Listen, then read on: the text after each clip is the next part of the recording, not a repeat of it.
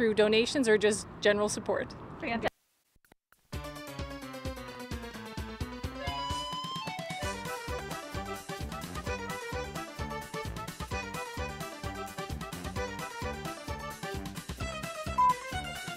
can't hear Tracy because it appears that her mic broke. this never happens with Boomer Gallant. Tracy, try to screw that back on here while I talk. She's going to have weather coming up shortly. I One, think two, three, four, five, six, seven, you eight, got 30 ten. seconds left. You got Okay, 30 okay. seconds. I'm okay. gonna go quick then. I'm coming over to Dave.